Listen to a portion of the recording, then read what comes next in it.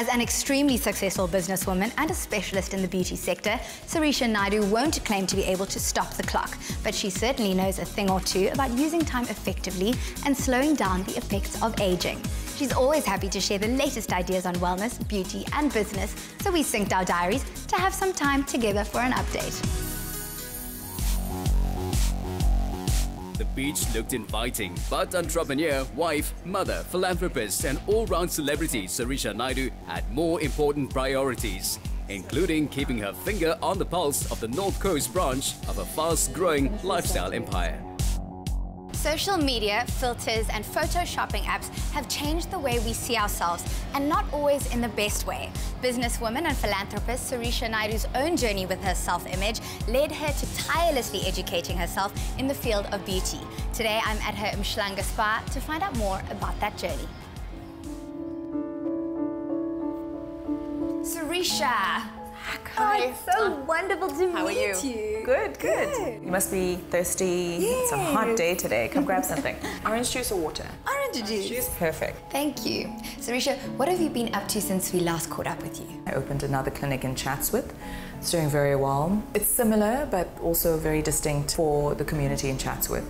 And then we opened a restaurant in Umhlanga, also very different kind of restaurant, the first of its kind in Umhlanga. So I'm very proud of that concept.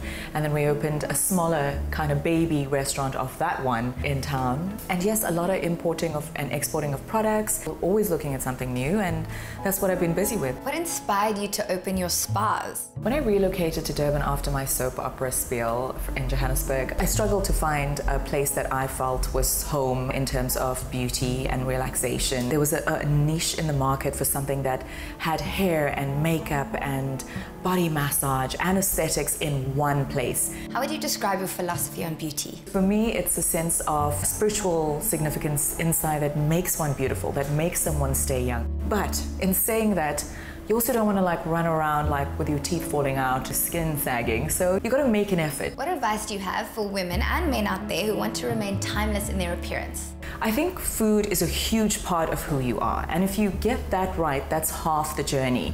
And then you can focus on cupping therapy or derma rolling or anything that you want to have to make yourself look and feel better. Do you think skincare is something you should start when you're young or can you wait until you're older?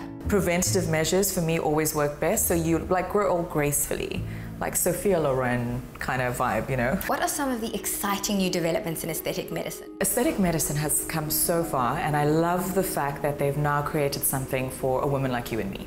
It's called non-invasive. And non-invasive everything is something that screams at me because I don't have time to take six weeks off to have like a deep chemical peel. So non-invasive for me is equipment that has now come out that will target areas that you can come in, have it at your lunch break, and out you go. What are some myths around aesthetic medicine that you'd like to bust? People don't do enough research. So they go off and they have a procedure or have a treatment, and it's often by someone who's not prepared or trained in those aspects. So once you do your research, you're equipped. You know about the treatment, you find out if the treatment has side effects, all of those things. Making sure that the person treating you has full accreditation. So for me, that's very important before you just trust your entire being to someone you don't know. Even an exquisite woman like you has that nasty voice in her head telling her she's just not good enough sometimes.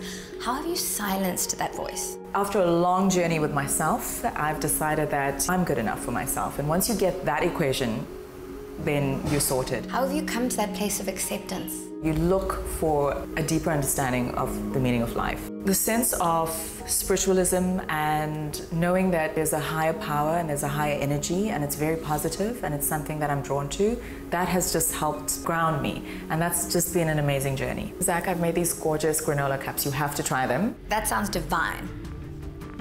These look gorgeous. Okay, so what if you're super scared of needles? There's so many preventative measures that you can take now that does not require a needle or any sort of downtime where you're being prodded. So one of my favorite capsules that we've just launched is a stem cell capsule. And the way it's been designed is that it is anti-aging, it assists with cancer, it assists with renal lung failure. It goes from anti-aging to your worst case scenario. And for me, stem cells is the way of the future. Stem cells are here to stay and really, really blessed to have like stumbled upon this product and I'm super excited about the way forward. Sorisha, you are gorgeous inside and out. Thank you for the day. Thank you. Being able to remain relevant means that you really need to know who you are. Sorisha easily demonstrates this ability to remain timeless and she does it with style and grace.